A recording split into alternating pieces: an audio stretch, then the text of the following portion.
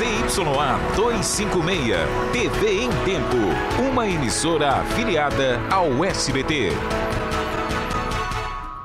Julgamento do dentista Milton Freire, acusado de matar a ex-mulher, começa com a audição de 10 testemunhas. Servidores e deputados estaduais articulam um novo canal de comunicação com o governo do estado. O objetivo é flexibilizar a política salarial. Elas comprometem, inclusive, trazer secretários das pastas, por exemplo, da saúde, da educação. Hoje é o Dia Nacional da Mamografia. Você vai saber a importância desse exame para detectar o câncer de mama.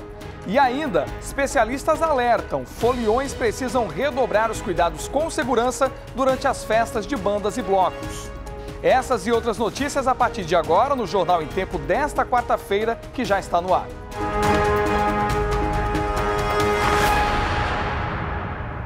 Muito boa noite para você. Hoje foi o primeiro dia de julgamento do caso Lorena. A perita da Polícia Civil foi morta pelo ex-marido durante uma discussão. Amigos e familiares da vítima e do réu participaram do julgamento.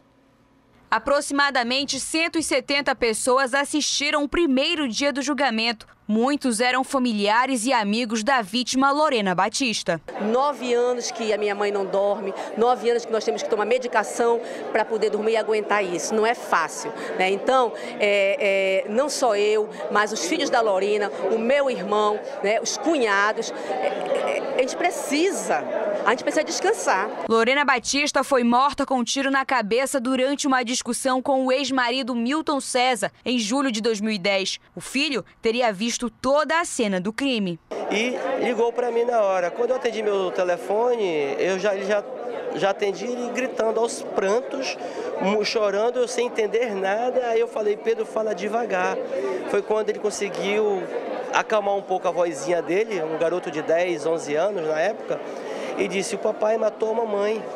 O papai matou minha mãe. O papai matou minha mãe. Falou três vezes isso. Milton César é dentista e no tribunal declarou que é inocente e que o tiro foi um acidente. Ele disse que tentou tirar a arma da mão de Lorena quando tudo aconteceu. A defesa do réu sustenta a tese que a ex-esposa teria planejado a morte do ex-marido. A vítima entrou na casa do acusado à meia-noite, usando o filho como subterfúgio para ele abrir a porta, entrou com uma arma engatilhada, com luva cirúrgica na mão para não deixar rastro, sacou essa arma e apontou para ele. Ele se defendeu e nessa luta pela arma houve um tiro que atingiu. A família contratou um perito particular para avaliar as provas, o que, junto com os advogados de acusação, afirmam que não houve disparo acidental. Milton teria executado Lorena.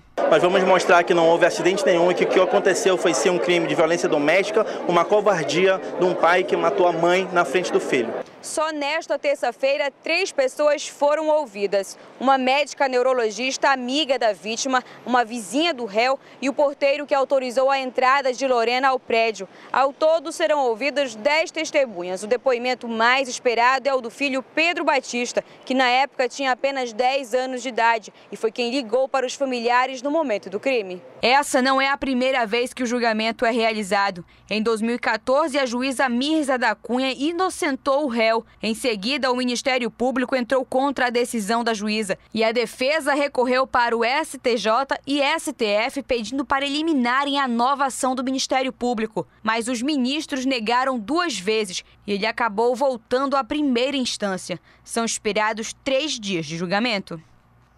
E agora à tarde, quem prestou depoimento foi o Pedro, o filho do casal que é testemunha ocular desse crime. A gente atualiza informações sobre o andamento do julgamento ao vivo com a repórter Mariana Rocha. Mariana, boa noite para você.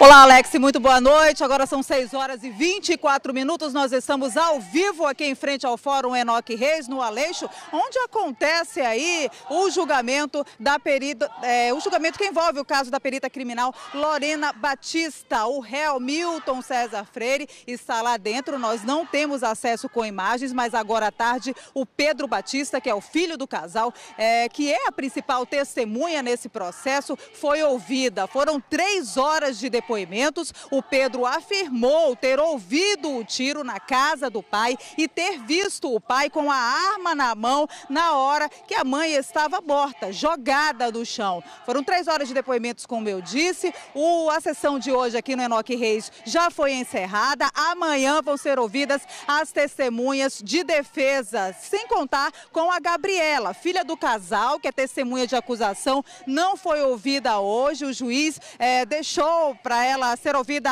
amanhã a partir das 8 e meia da manhã, quando vai ser retomado aí esse julgamento. Neste momento ocorre uma manifestação aqui, ó, do Fórum Permanente das Mulheres de Manaus, né, falando sobre a questão do feminicídio, né, de homens que matam as suas esposas, que é possivelmente o caso julgado aqui hoje no Enoque Reis. Amanhã então, Alex, serão ouvidas as testemunhas de defesa do réu e possivelmente na sexta-feira, que será o último dia de julgamento, será ouvido o réu Milton César Freire da Silva, de 48 anos de idade, o cirurgião, o cirurgião dentista acusado de matar a ex-mulher. Eu volto com você ao estúdio. Mariana, muito obrigado pelas informações. Com certeza, um depoimento decisivo para essa investigação. Muito obrigado. E servidores, da, servidores estaduais perdão, ocuparam a galeria da Assembleia Legislativa e cobraram direitos e novas políticas salariais. Na próxima semana, uma nova reunião com as classes está pré-agendada e pode contar até mesmo com a participação do governador Wilson Lima. O começo do dia na Assembleia foi marcado pela manifestação de servidores públicos. Os sindicalistas não foram autorizados a falar na tribuna do plenário, mas fizeram uso da voz na galeria da casa. Nós estamos aqui, junto a esta casa, para fazer denúncia e pedir que o legislativo se sensibilize com as causas dos servidores. O deputado Álvaro Campelo conversou com os servidores e recebeu em mãos uma lista de reivindicações que foi entregue à liderança do governo na Assembleia Legislativa. Os representantes das classes foram recebidos pela líder do governo na casa, a deputada Joana Dark.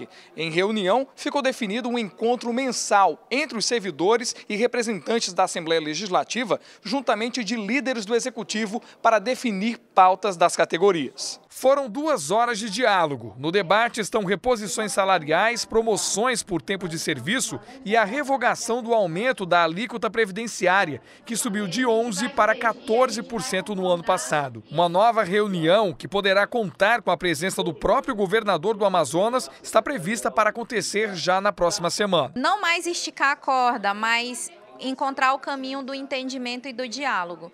Então, esse é o meu papel como líder de governo aqui dentro da Assembleia Legislativa, encontrar o caminho da construção coletiva e as soluções. As classes saíram satisfeitas e com expectativa de uma melhor relação com o governo em 2020. Elas comprometeram, inclusive, trazer secretários das pastas, por exemplo, da saúde, da educação, da segurança, para que a gente possa resolver demandas, por exemplo, é, específicas de cada pasta aqui dentro da Assembleia para buscar uma solução que possa resultar em melhoria de serviço, de qualidade de serviço para a população da outra ponta. O superintendente da Suframa, Alfredo Menezes, discutiu hoje com o presidente da República, Jair Bolsonaro, a redução da alíquota de IPI dos concentrados de refrigerantes. A ação federal ameaça quase 10 mil empregos aqui no Amazonas. As informações com a repórter Larice Neves.